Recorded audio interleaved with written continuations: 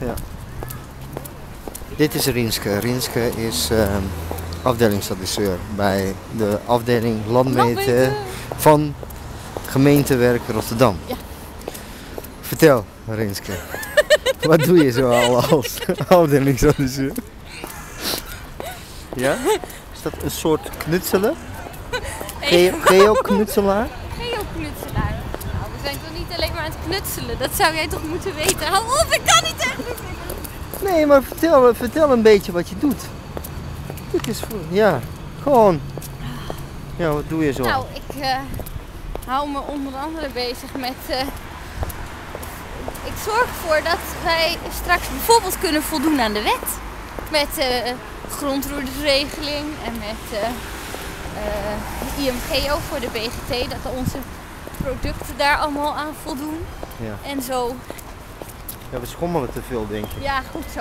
Ik denk dat eh, kijkers eh, nou hier eh, misselijk van zullen Ja. worden. Even door. Het verhaal is heel interessant Nee. natuurlijk. Ik vind dat heel vervelend.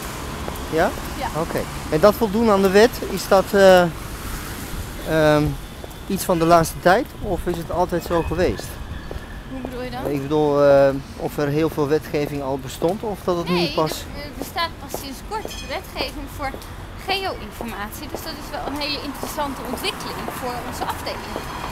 Oké. Dus eh, nou, dat zijn we ook niet gewend. En we moeten plotseling ook veel meer samenwerken met eh, andere afdelingen en diensten binnen de gemeente. Nou, dus dat is wel een, een leuke uitdaging. Ja.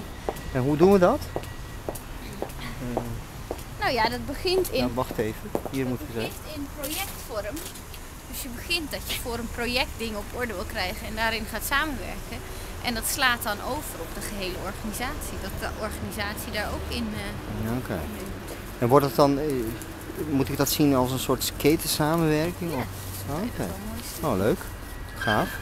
Nou, bedankt eh, voor je uitleg. En eh, goed voor de kijkers dat we nu uiteindelijk stilstaan. ja, dan hebben we eindelijk stabiel beeld. Oké.